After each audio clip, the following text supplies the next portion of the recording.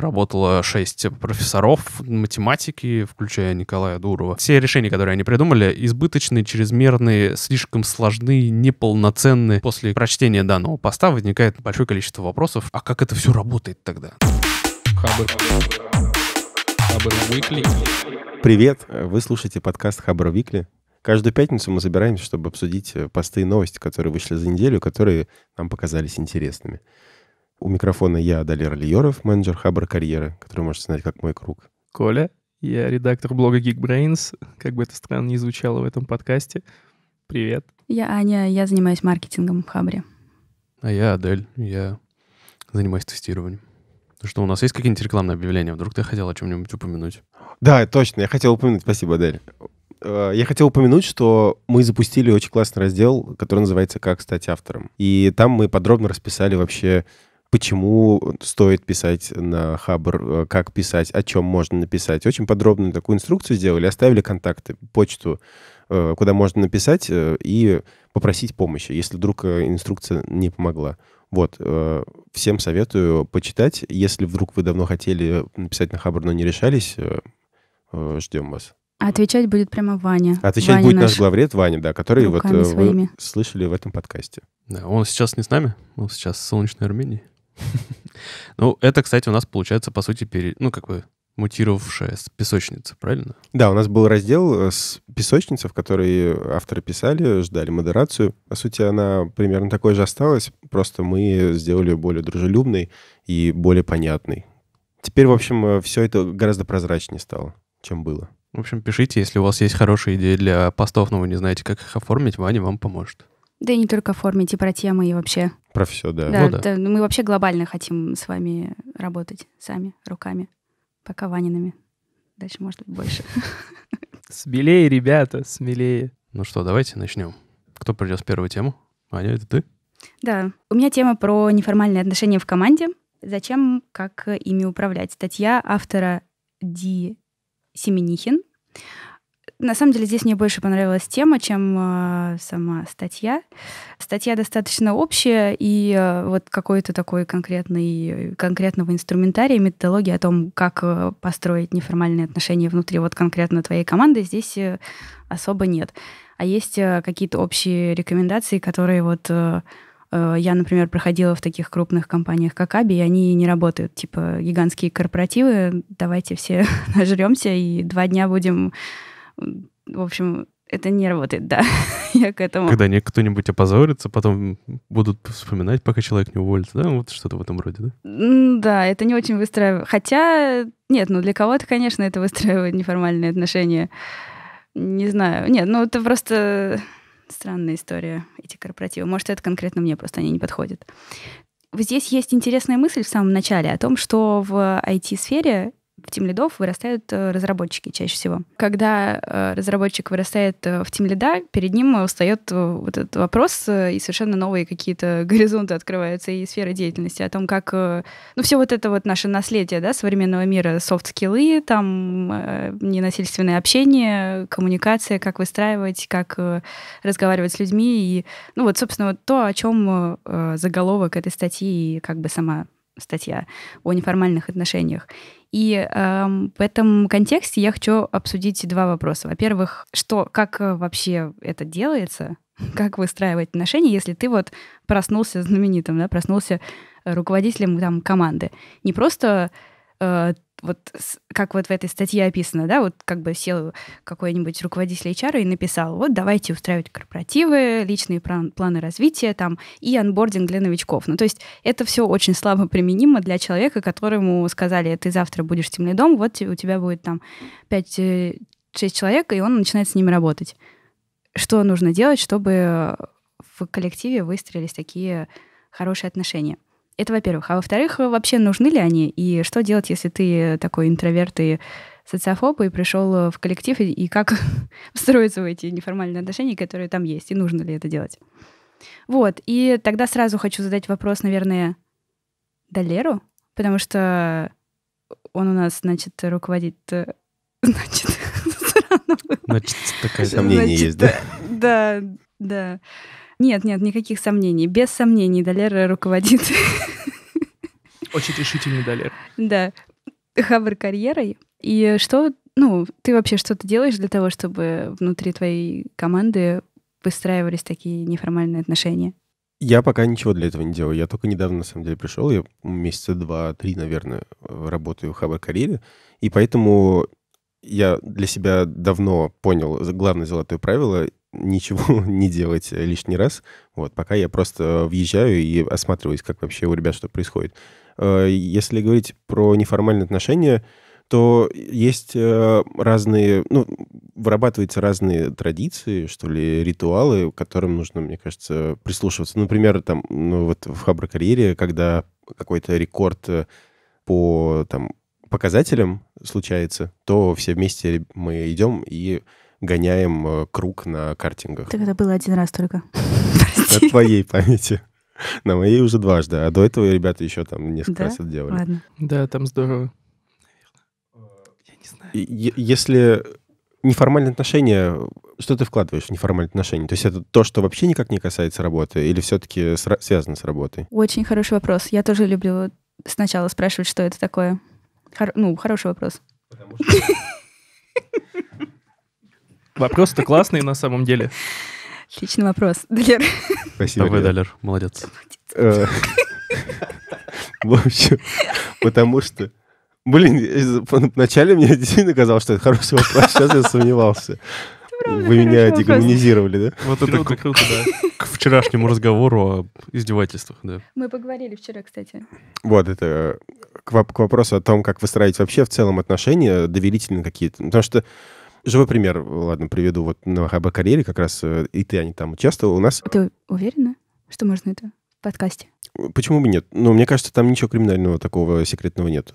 Это просто обычный случай, когда э, мы, ну, мы начали делать там внутренний новый проект, и такой командой мы никогда не работали. И вроде бы я как бы постарался рассказать всем, кто чем будет заниматься, но, как обычно, все пошло не так, как планировалось, и в итоге какая-то недосказанность все равно осталась, то есть досадная дискоммуникация возникла у нас.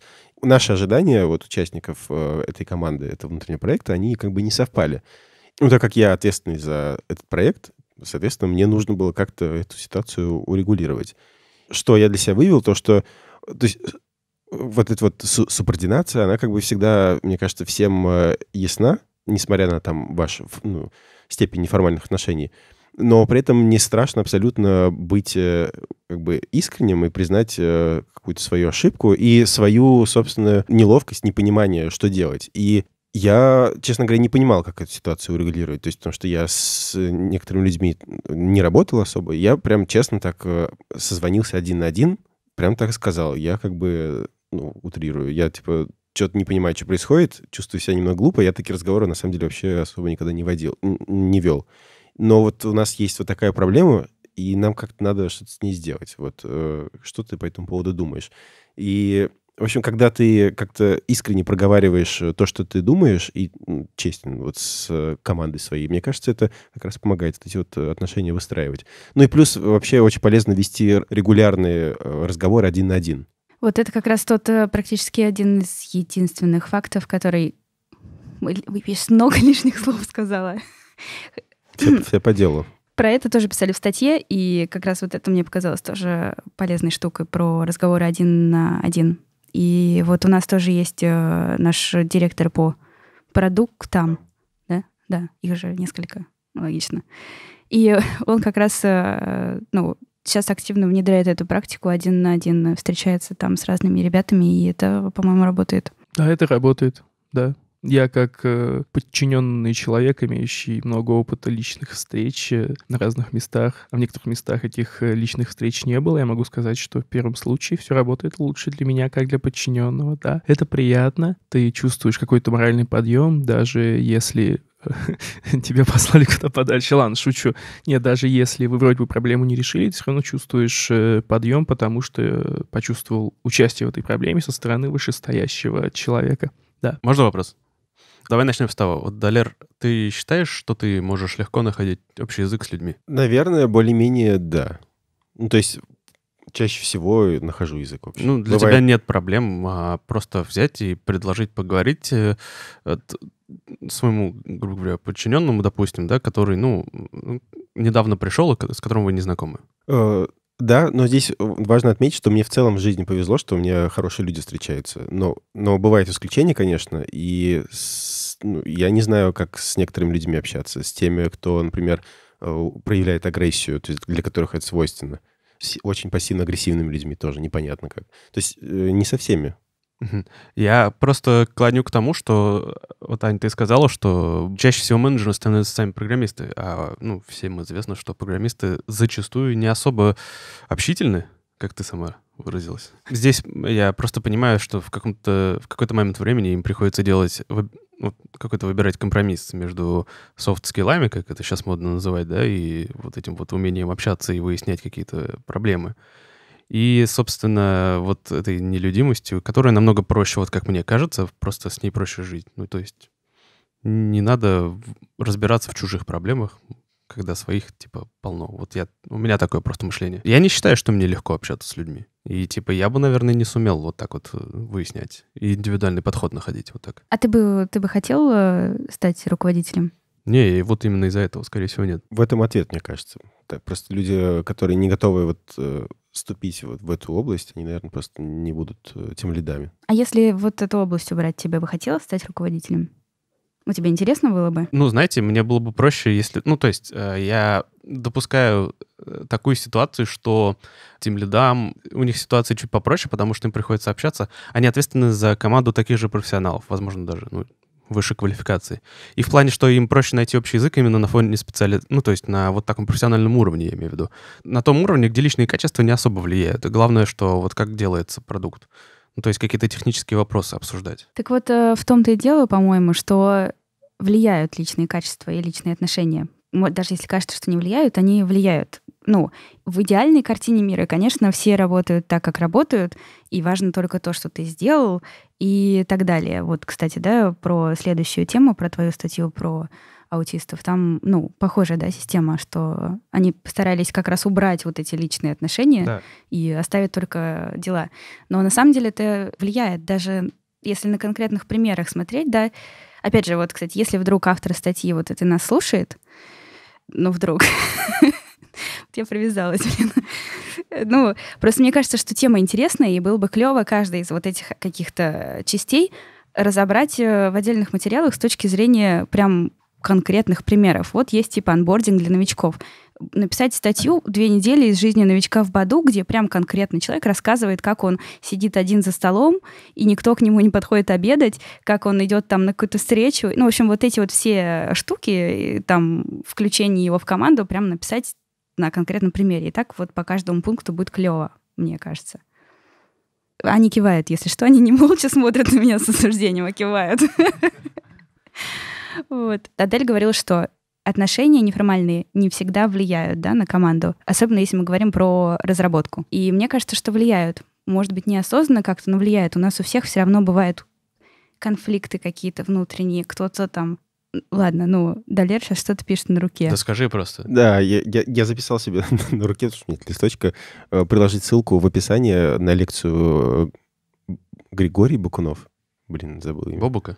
Бобука, да. В общем, это директор по распространению технологий Яндекса. У него очень классная есть э, лекция, где он рассказывает про свой руководительский опыт. Ссылка будет в описании. Ну, а вы как думаете, бывает такое, когда, ну, личные отношения вообще типа не влияют на работу команды? Нет. Мне кажется, вообще э, личные отношения, ну, личные и рабочие не стоит разделять. И поэтому я даже в планировании задач все это в перемешку мешаю. То есть погода на улице, не знаю, плохое настроение, какой-то косой взгляд, э, какая-нибудь шутка неудачная, это все влияет. Ты меня пальцем показал. Я случайно просто свой взгляд. А, Я лично считаю, что ну, можно как-то дифференцировать, и даже если человек мне лично неприятен, я все равно смогу с ним работать. Ну да, после работы, например, я буду обсуждать его со злым каким-то, не знаю, со злой интонацией в голосе, может быть. Ну, типа, на работу, я надеюсь, это не влияет. Вот э, есть такое, да. Мне тоже кажется, что, типа, по крайней мере, долгое время я думала, что да ладно, пофигу, там, нравится мне кто-то, не нравится, но я как бы просто поработаю, я же профессионал, а, типа, потом пойду и там, да, буду много чего нехорошего говорить спиной. Что изменилось? Э, Ну нет, на самом деле хочется же, чтобы была комфортная атмосфера в команде. А вот эта ситуация — это некомфортная атмосфера. Да, такое случается, и да, такие периоды иногда приходится переживать, но это точно не должно быть на постоянной основе. И в каких-то кризисных моментах нужно, типа, держать себя в руках и думать, ну ладно, как бы я ничего не могу здесь сделать, мне нужно работать с этим человеком, я поработаю вот э, и буду молодцом, да. Но вообще-то, ну, это нужно решать как-то. И решать это должен именно тот человек, который руководит этой командой небольшой. То есть, если тебя бесит, что, например, какой-нибудь твой сосед э, щелкает ручкой, ну, грубо говоря, и отвлекает тебя этим. Ты должен идти к менеджеру, а не у него спрашивать. Ты так считаешь? Нет, да, это, ну, хорошее замечание. Спасибо, спасибо. Руководитель ответственен просто за атмосферу. То есть он должен это все как-то, ну, быть чутким к этому, считывать и э, управлять этим процессом. Но и тут, естественно, мне кажется, нужно просто подойти к этому человеку и не поговорить с ним. Не щелкай, да. Да, да, конечно, лучше как-то это вот так решать вместе, но бывают люди, которые не могут этого сделать. Бывают люди, которые будут просто сидеть и мучиться. Бывают разные ситуации. И да, я считаю, что, конечно, не нужно никому идти, нужно самому пытаться разобраться сначала, даже если мы говорим не просто про ручку, а про какой-то реальный конфликт, да. При этом есть руководитель, который должен э, держать руку на пульсе видеть все это, наблюдать за этим, быть таким серым кардиналом в своей команде и понимать, что в каких-то ситуациях его там люди, ну, один на один не, не справляются и не справятся. И, наверное, вот здесь ему нужно как-то э, решать это.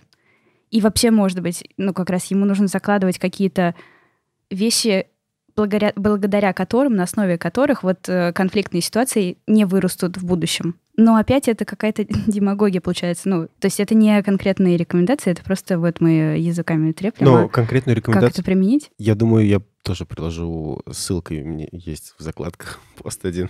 А сейчас, сейчас там еще было интересное тогда. Давайте еще буквально вот две минуты про то, что делать, если ты интроверт, и ты приходишь, и тебе говорят, типа, гей, корпоратив, э, пицца, вот это все. Нет, я не пойду.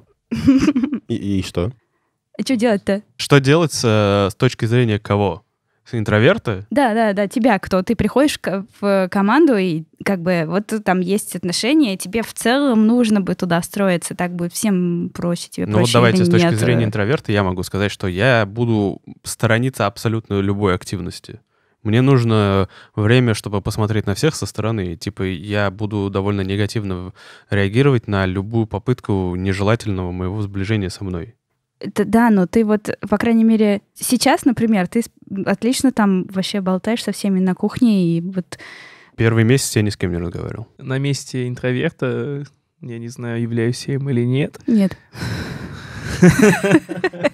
Нет, просто некоторое время назад э, у меня были лекции в, в школе цифрового маркетинга. Короче, а, долгое предисловие. В общем, там был чувак, который рассказывал, что, ребят, вот вам что предлагают, надо в это зарубаться. Всегда говори «да». Ну, разумеется, в разумных пределах. И просто я считаю, что разумно э, сделать усилие и пойти в коллектив, даже если ты интроверт, потому что со стороны ты не сможешь увидеть все нормально, тебе надо поместить себя внутри команды, и уже э, ты получишь картину более достоверную, чем если на это смотреть со стороны. То есть ты часть коллектива, исключая себя из этого коллектива, э, в первое время ты получаешь недостоверное представление о том, что будет, когда ты в этот коллектив войдешь. Типа такая инклюзивная такая механика получается. Мне кажется, что это стоит того, чтобы э, переступить через свой, э, свою интровертность и выйти, отломить себе пару кусков пепперони, сложить их бутером и сожрать, ну, типа, без зазрения совести какого-то, запить пивасом и посмотреть, ну, ребят, ну вот он я новый, я бухаю с вами, да, посмотрим, как у нас отношения сложатся. Это хорошо, это здорово. Вот. У меня еще, э, кстати, по поводу, по поводу щелкания ручкой и вот этого вот всего, мне кажется, что со стороны руководителя важно строить для людей мотивацию, которая будет э, сильнее, чем расстройство от того, что человек рядом щелкает ручкой. То есть, типа, как раз был такой пример э, в статье. Чувак писал, что у него сосед, а, не сосед, начальник у него даже ел за рабочим местом, громко чавкал, и чувак сидел и думал, блин, вот я сейчас, типа, нормально к этому отношусь, но потом вот э, с, с его стороны будет логично, если я приду и буду что-нибудь такое тоже делать, и он будет к этому также относиться. То есть это такая э, терпимость, которую мы принимаем для себя и проецируем ее типа на других, что другие будут следовать тоже терпимости, да. И плюс э, второй фактор, что у людей должна, была, должна быть мотивация. Чувак щелкает ручкой, ну хрен с ним, зато проект классный, сейчас я надену наушники, ничего не буду слышать, и прям зарублюсь вообще. Все это в той или иной степени мотивация, которую можно строить с разных сторон, и, ну, щелканье ручкой нафиг никому не нужно. А еще э, я думаю, что мы заканчиваем тему, поэтому я хочу договорить, что здесь очень важна такая штука, как анбординг, и я только что подумал, как здорово, что сейчас принято делать какие-то во всех офисах э, кофе-поинты в open space, потому что, мне кажется, важность кофе-поинтов э, очень высока, потому что ты вроде бы со всеми, когда ты руководитель, но вроде бы ты можешь поговорить с кем-то отдельно. И это все очень ненавязчиво и здорово, да. Вот поэтому я и думаю, что ты экстраверт, потому что ты вот это все описываешь, кофе-поинты, там пицца и так далее. Но типа, если ты интроверт, это очень, ну, это очень сложно делать. Э, ну, то есть это не просто переступить через себя, так стресс огромный, когда ты место работы меняешь, а еще и дополнительный стресс идти вот это все делать. И мне кажется, что просто хорошо было бы, чтобы вот все эти анбординги, вообще все процессы, которые есть такие вот под включение в команду, чтобы они просто были не унифицированы для всех, а чтобы люди понимали, что сотрудники разные. Как минимум есть э, вот э, экстраверты и интроверты. И с ними по-разному нужно... Они по-разному выстраивают свою коммуникацию, и с ними по их по-разному нужно включать в команду. Мне кажется, следующая тема на самом деле продолжает эту, потому что она затрагивает аутистов. Она называется «Каково это, когда 75% ваших сотрудников аутисты?». Она э, была опубликована в блоге компании IT-Сумма, и в целом это перевод автора Робби пусть будет Вачовский, я, честно говоря, не знаю, как это прочитать. Но суть в том, что это статья из BBC про компанию, которая набрала себе штат сотрудников на 75% состоящих из аутистов. Компания занимается тестированием. Ну, вдруг это кому-то... Мне показалось это ироничным, окей. Но на самом деле за этим есть какое-то объяснение в плане того, что у аутистов очень своеобразный взгляд на привычные нам вещи. Специфика работы с аутистами состоит в том, что они не социализируются. Вообще никак абсолютно. Им очень тяжело находить, ну, то есть не просто находить общее, не вообще тяжело общаться с людьми. Они не понимают эмоций, они не понимают, как реагировать на какие-то слова или какой-то, как-то выстраивать взаимоотношения. В этом сложность работы с ними, но данная компания нашла как бы свой своеобразный подход. Их ценность состоит именно в том, что у них э, действительно не э, мозги работают чуть-чуть иначе, чем у более э, социально активных людей. И это можно использовать выгодно для поиска нестандартных ситуаций, в которых могут возникнуть какие-то баги. Я на самом деле не считаю аутистов какими-то прям, ну, то есть вот больными людьми, да. У них есть сложности какие-то своеобразные, но в целом это а, абсолютно точно такие же полноценные личности, которые, ну, способны выполнять практически то же самое, что и обычные люди. Если у них нет каких-то дополнительных отклонений, скажем так. Ну, такое просто часто случается. Можно сразу вмешаюсь? Ну, не совсем просто. Аутизм бывает очень разные, разных степеней. И, возможно, ты говоришь только про легкий аутизм. У меня тетя моя работает с детьми аутистами. Поэтому, ну, я это из первых рук знаю. И э, ну, это очень тяжелые, я не знаю, сейчас как корректно говорить, перед каждым словом сомневаюсь, заболевание. Да нет, я признаю, что это тяжелое и сложное Сережа. заболевание. Но просто... Э, нет, нет, я просто к тому, что ты говоришь просто про э, легкую степень э, расстройства. Возможно, возможно, я не до конца, наверное, осознаю, типа, сложность случаев у некоторых. Но суть этой компании в том, что они, они как бы стараются максимально ограничить общение со своими сотрудниками в плане какого-то личного, там, то даже по телефону, например. У них рабочий процесс построен э, сугубо на переписке текстовой в чате.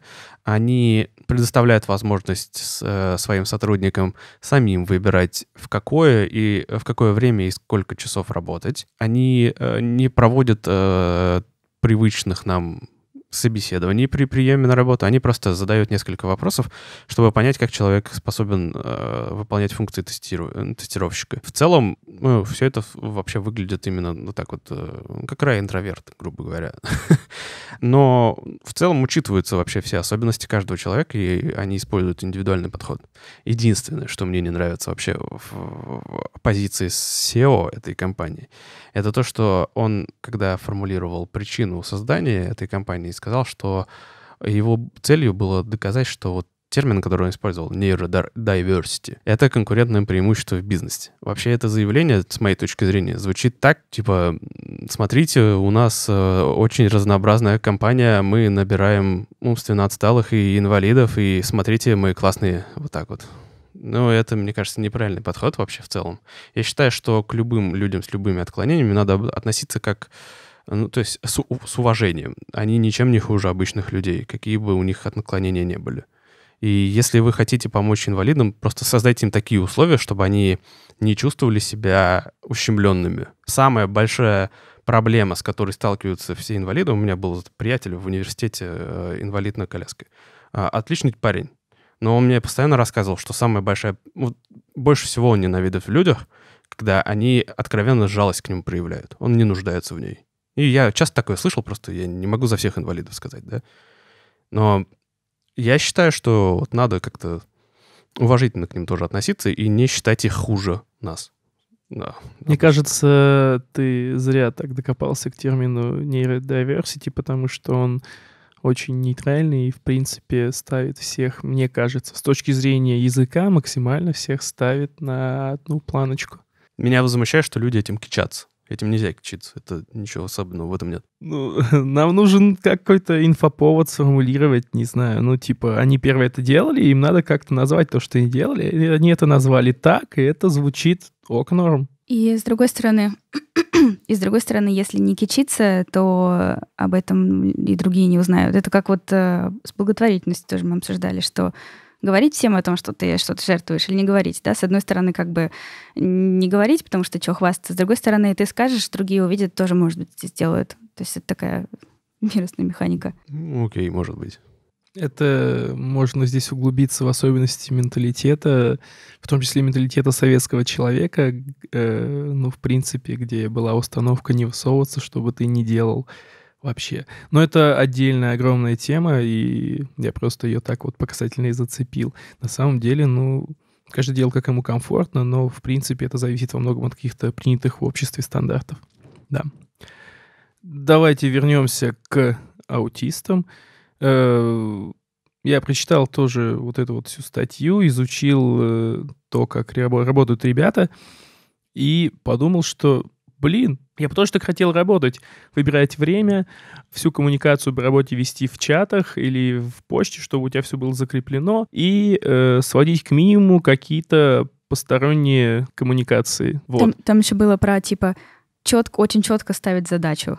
Ну, то да. есть, как будто бы это прямо ну, то есть для э, аутистов. В, в комментах э, я читал здоровенную ветку комментов, они много раз уходили черти куда, но там была прикольная мысль о том, что вау, нормальный менеджмент, ух ты. То есть э, просто люди стали применять в компании какие-то инструменты, которые комфортны одинаково всем. Вот эти инструменты — это типа лучшие практики менеджмента на самом деле, как мне показалось. В таких условиях э, приятно и логично, что классно работается вот даже людям с разной э, нейротипичностью. Нейроатипичность. Стоп, стоп, атипичность. Это значит, ты признаешь что-то типичное, а что-то атипичное, то есть неправильное. Бу-бу-бу, дискриминация. Мне нравится термин diversity в английском, он прям такой... Так он такой тоже подразумевает, стерильный. что есть вот это разнообразие. Нет, нет, смотри, нейротипичный ты говоришь, значит, у тебя типа что-то типичное нормально, что-то атипичное. Все, а ладно, diversity давай это потом типа... на кухне, обсудим, на кухне обсудим. Ладно, я просто люблю цепляться к таким языковым штукам. Давайте вернемся к э, аутистам, да. Мне кажется, удаленная работа ну, вообще любая удаленная работа выстроена по вот этим, по этой, по этой методологии, которая там описана в статье. Ну, что, Slack, э, почта, четкие задачи. Четкое проговаривание всего. Ну, то есть Да. вы считаете, что это прям вот а, такая, знаешь, сферическая в вакууме такая идеальная проверка менеджерских качеств в человеке? То есть э, максимально четкая постановка задач, четкая документация, лишних вопросов быть не может, потому что, ну, ну, людям с аутизмом тяжело задавать вопросы, наверное. Но это вообще везде надо применять, даже в компаниях обычных. Ну, просто когда ставятся задачи некоторыми менеджерами, они допускают, что какие-то нюансы человек может додумать. Ну, потому что так было бы логично, допустим, да. Я так понимаю, что с аутистами это не работает. Они, они не всегда могут понять, что что-то логично. То есть им надо вот прям вот, чтобы никаких вопросов не возникало. Ну, насколько возможно, но для этого у них и чат есть, чтобы можно было уточнить это потом. Ну, наверное, да. Нет, но все равно всегда может быть мискоммуникация. Говорим мы про аутистов или про обычных людей. У нас у всех мы, у нас у всех есть своя призма восприятия, и что бы ты кому ни сказал, ты должен всегда держать в голове, что воспринято это будет по-другому. Поэтому говорить нужно четко, словами, все, что есть. Ну или письменно. В защиту еще вот этого бизнесмена, который, как бы, как ты говоришь, кичится тем, что вот у них работают аутисты, это хороший пример э, другим бизнесам, показать, что на самом деле можно делать э, эффективный бизнес э, с людьми, которых вы считаете, ну, неподходящими для ваших Да работ. нет, он так и говорит. Вот, да, мне кажется, Его это здорово цель доказать что другим, что это работает. Мгм. Ну, окей. Статья называется «Бро против не бро», автор Никита Иванов, под ником Никитиус, подчеркивание Иванов. И э, суть, э, в общем, статьи в том, что автор разбирает э, несколько социобиологических явлений и показывает, как мы воспринимаем своих, не своих, как на фоне этого работают наши механизмы вот, альтруизма, агрессии. Там много, нес- несколько примеров, например, там про пчел, альтруистов, которые могут э, жить там поколениями, но не производить потомство, но заботиться о других э, своих сородичей. Э, Или там про обезьян, которые могут подавать клич, когда опасность где-то близится. Вот. Но я к этой теме прикопался, потому что увидел там свое, возможно, чего нет в статье, это про агрессию. Мне эта тема отозвалась, потому что там как раз разбираются механизмы агрессии. Про агрессию очень хорошо написано в книге Конрада Лоренца «Агрессия, так называемая злость». И мысль в том, что агрессия как раз э, это то, что нам э, свойственно в большей степени людям и вообще видам всем. А доброта — это уже вот какая-то настройка наша социальная. Меня, собственно, эта тема беспокоит, потому что у нас у всех, по-моему, ну, в обществе проблемы с агрессией, с тем, что мы эту агрессию не выражаем, не проговариваем как-то, и из-за этого имеем какие-то проблемы с тем, что когда ты чувства какие-то не выражаешь, это потом может э, выливаться там в самоубийство, например. Это вот как раз про мужские самоубийства, то, что в России статистика самоубийства выше, чем во всех других странах, в разы причем, именно мужских самоубийств. И в Японии столько же, по-моему, примерно, самоубийств. В России и Япония два лидера, насколько я знаю. Могу врать. Да, я, в общем, э, рассказал суть, но я что-то не понял, мне вылетело из головы, что я бы хотел э, с вами обсудить. Не, ну тема непрожитой и невысказанной агрессии хорошая тема. Ну, важная тема. Да, мы тоже много раз обсуждали в разных э, куларах о том, что вообще меня тоже это очень волнует, то, что у нас э, в стране считается, что если ты мужчина, то тебе нельзя испытывать эмоции. И это очень плохо. Очень плохо влияет на жизнь человека, на жизнь окружающих его людей, на жизнь тех людей, которых он воспитывает и так далее. И надо с этим как-то, ну, бороться. Да, вопрос у меня, наверное, был такой. э, Как вы эту, ну, выражаете ли вы как-то агрессию, которая у вас возникает? И вообще вот когда вы росли, насколько это было э, допустимо выражать как-то агрессию? Насколько это поощрялось? Ну, во- вообще какие-то чувства выражать? Ну, если вы спросите меня, то в моем детстве, ну, это, ну, скажем, без агрессии невозможно было выжить. Если вдруг человек вел себя как-то не по общепринятым стандартам или понятиям, его гнобили и угнетали. Никакого способа защиты от этого, кроме как э, э, агрессии ответной, не было. Ну, то есть невозможно было... Ну, то есть если ты никак не реагировал, терпел, там, не отвечал, ничего, тебя просто продолжали. Это не прекращалось. Поэтому, мне кажется, надо этот вопрос решать еще в детстве. То есть э, вот именно в детстве закладывается мысль о том, что нельзя показывать свою слабость. Ну, то есть иначе ее, ну, тебя просто съедят. Люди остро реагируют на то, когда человек рядом с ними м, уязвим. Многие пытаются вы, ну, какую-то выгоду из этого извлечь и как-то поставить себя выше. Я вот думаю, что корень в этом. Ну, без этого, ну, без агрессии никак, я считаю. Ну, нельзя так, то есть... Э, Не, ну подожди, если- такое ощущение, что ты вообще к другому подвел. К тому, что наоборот, э, нужно закладывать в детстве то, что не, не без агрессии никак, и не показывай слабость, а то тебя забьют, а наоборот. Ну, то есть, если не получится вы- вымещать агрессию как-то на себе подобных, надо, надо как-то вымещать ее на чем-то другом. Ну, без агрессии не получится. Ты что? Сублимация, сублимация. Учись сублимировать с молоду.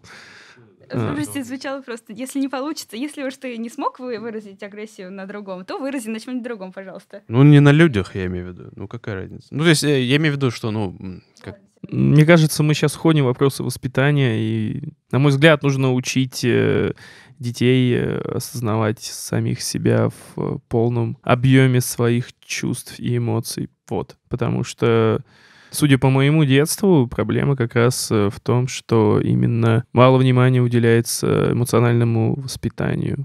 Вот. Соответственно, мы получаем самоубийства детские, мужские, женские, вот это вот все.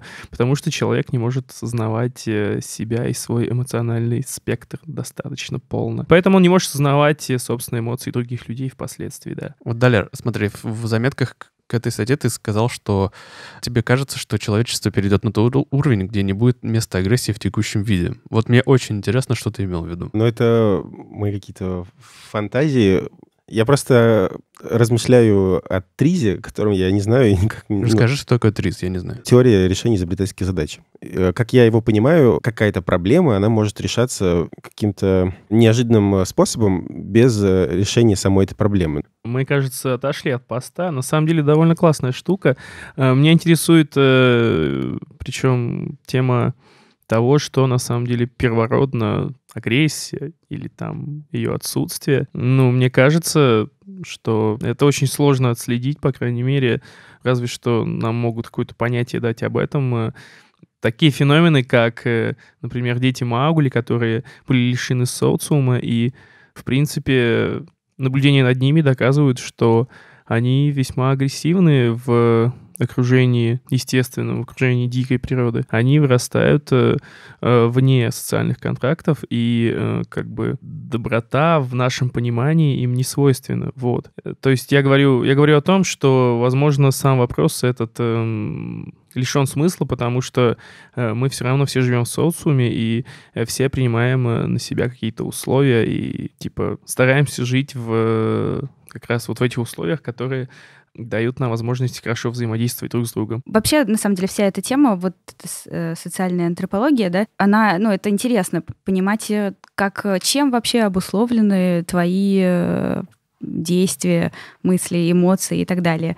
И вот так вот докопаться до каких-то антропологических причин можно в любом действии, включая там и то, что вот ты лежишь на диване и не хочешь идти в спортзал, да, а это на самом деле потому, что ты сохраняешь энергию, потому что твоим предкам нужно было сохранять энергию, э, чтобы потом убежать от тигра. То есть это не просто ленивое говно, а ты, ну, сохраняешь энергию, чтобы потом ее как бы использовать. Но дело в том, что мир изменился, и вот эти вот механизмы, которые в нас заложены, причем это тоже вообще офигенная система, все вот эти механизмы, которые в нас заложены, это, ну, потрясающе интересно. Но сейчас в текущем контексте они уже не работают, потому что там не нужно уб- убегать от тигров. Сладкое тоже, да? Любовь к сладкому объясняется тем, что это как бы тоже то, что быстро восполняет тебе энергию, да? То есть ты любишь сладкое, потому что, опять же, тебе нужно будет потом убежать от тигра, и этот банан вот этот тебе поможет. Но сейчас мы просто его съедаем килограммами там за Netflix и типа лежим потом ни от кого не убегаем. И мне кажется, что какая-то следующая вообще ступень для человечества может быть в том, что мы можем научиться это такой хакинг получается, хакнуть себя и хакнуть свои механизмы и научиться их э, преодолевать. И поэтому именно вот мне, например, очень интересен э, сам буддизм, о котором я много говорю, но не в подкастах, а на кухне. Потому что мне кажется, что какие-то такие механики, ну и вообще как бы не подход там к буддизму и к практикам этим с точки зрения связки там с космосом, вибрациях и вот этого всего, а с какой-то на- научной точки зрения, а, это какая-то даже не ступенька, но предступенька к тому, чтобы научиться эти механизмы осознавать в себе и пере- преодолевать их. И, соответственно, можно, ну, преодолеть в себе и вот эту, или не преодолеть, но просто осознать и не реагировать на вот эту агрессию, порожденную каким-то древним механизмом древнего человека, которым ты сейчас уже не являешься. Я еще хотел загнать за восприятие э, людей друг, других рас. Э, там был эксперимент интересный на эту тему. Взяли детей, с разных возрастов, лет до 18, и, собственно, показывали им э, лица разных цветов, разных рас, народностей, и регистрировали э, показатели активности миндалин, которые отвечают в мозге за агрессивное поведение, типа за восприятие опасности. И вот, что интересно, где-то с где-то лет до 16 у детей, у молодых людей э, при виде человека другого цвета, другой расы, у них э, почти нет, э, практически отсутствует э, активность, отвечающая за агрессию. Ну, то есть даже не за агрессию, за реакцию симметричную на опасность. Это интересно, потому что в какой-то степени доказывает, что мы все типа рождаемся э, одинаково, терпимыми ко всем расам и воспринимаем всех одинаково. Да, но наш культурный э, фон, в котором мы неизбежно живем, он дает нам какие-то другие установки, и, соответственно, уже лет в 16 мы начинаем чувствовать опасность от э, людей другой расы. Ну давайте я в последние 7 минут буквально расскажу про эту тему, про протокол Telegram. В этот момент они вспомнили, что это подкаст Хабра.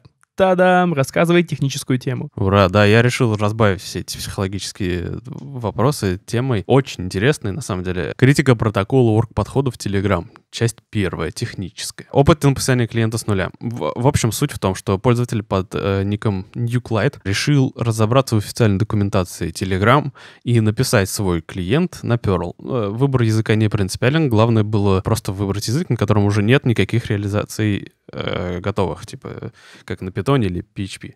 Э, изучение документации выявило огромное количество проблем, потому что, во-первых, сама документация с 2014 до лета этого года она вообще никак не обновлялась, 5 лет. Буквально в несколько месяцев назад э, она обновилась, но при этом большая часть статей с 2014 года остались по-прежнему неизменными и в целом вообще не соответствуют действительности. Я так понимаю, что клиенты, которые уже были разработаны, они пользуются какими-то преференциями и непосредственно общаются с разработчиками Телеграма, чтобы выяснить какие-то вопросы. А людям, которые только экспериментируют и пишут свои какие-то э, решения, им приходится додумывать просто совершенно неожиданные вещи. Сложность э, разработки вообще заключается в том, что у них э, большие проблемы с алгоритмами, с методами сериализации данных. Они разработали собственный type language, который, ну, очень избыточен и переусложнен. Они кичатся тем, что над вообще всей вот этой архитектурной инфраструктурой работало шесть профессоров математики, включая Николая Дурова. Но нет, нет, там, по-моему, три профессора. В общем, шесть э, чемпионов каких-то математических э,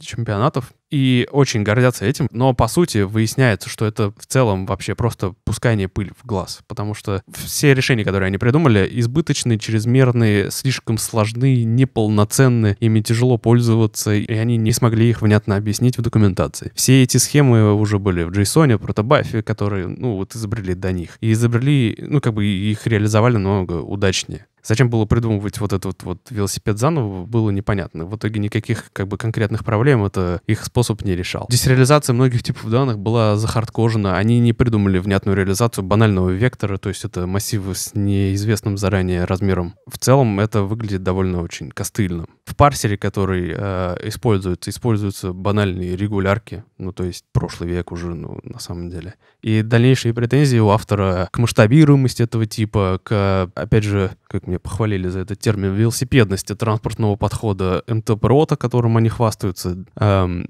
шифрование не до конца понятно, но не очень прозрачно, скажем так. Очень плохо работает асинхронность. Ну и самая главная проблема вообще в том, что очень плохая документация. То есть, казалось бы, Telegram это, ну, то есть у них репутация вообще очень технически продвинутых людей. У них небольшая команда, у них большой продукт, которым пользуются миллионы людей. И э, вообще вот э, после прочтения данного поста возникает реально большое количество вопросов, а как это все работает тогда? Потому что, ну, вот там любой э, пункт, э, по которому идет автор, вот которому он касается, вот прям вот он по пунктам рассказывает, как все не очень. это только первая часть. Я прям с нетерпением жду продолжения, потому что мне очень интересно. И я прям рекомендую всем э, интересующимся тоже почитать. Самая главная новость, которую я знал из этого э, поста, существует э, версия телеги для терминалов. Это офигенно. Вот. На этом, по сути, все. Классно. Я пользуюсь Телеграм. Я тоже. Я тоже. Да все Телеграм. Телеграм классный, классный Телеграм. Да нет, Напишите нам что-нибудь про Телеграм умное, пожалуйста, в чатик, потому что нам нечего добавить э, с той же степенью экспертизы. Спасибо, Адель. Просто готовили эти реплики. Да нет, нет, Telegram все еще лучше, чем все остальные какие-то решения, но при этом можно было сделать лучше. Еще лучше, в смысле. Я, пользуясь случаем, хотел сказать, что вчера или позавчера э, у Netflix вышел второй сезон прекрасного сериала Art of Design, э, где можно посмотреть э, на то, как работают крутые-крутые дизайнеры в разных сферах. Если вам эта тема интересна, посмотрите. Art of Design называется сериал. Не абстрактов дизайн. А, или абстракт. Я два раза сказал неправильное название. Еще раз. Абстрактов дизайн. Abstract of Design. Abstract of Design, запомните. Спасибо, Даля. Спасибо за рекомендацию. Мне это не очень близко, но прям стало интересно. Короче, прямо за дизайн очень хорошо. Второй сезон вышел. Enjoy. Итак, раз уж мы коснулись рекомендаций, то наша постоянная теперь рубрика «Могли бы обсудить, но не обсудили». Я принес с собой всего три статьи. Первая называется «Обыскать 314 квадратных километров за 10 часов. Финальное сражение инженеров-поисковиков против леса». Очень интересно. На самом деле, не такая простая проблема для решения, как вам кажется. Следующая тема. Правительство одобрило предустановку российского ПО на смартфоны. Это страшно. Ну, мне страшно стало. И третья статья. Как фантаст Артур Кларк чуть не закрыл журнал «Техника молодежи». Очень познавательно получилось. Вау. Это был подкаст Хабр Викли. Спасибо, что слушали нас. Э, Мы есть в Apple подкастах, Яндекс Музыки и других платформах, где нас можно послушать. Подписывайтесь, ставьте классы. Оставляйте свои комментарии, и если вам есть что сказать по поводу тем, которые мы обсуждали, или как-то покритиковать, оставляйте свои сообщения голосовые в бот Хабр подкаст. Ссылка будет в описании. Мы их включим в какой-то из выпусков. Желаем вам больше ментального комфорта и меньше агрессии, чтобы ваша работа протекала в соответствии с лучшими практиками менеджмента. Короче, вот это вот всего самого классного. Спасибо, ребята, что слушали. Пока, спасибо. Покедова. Пока. Пока. Хабр. Хабр Weekly.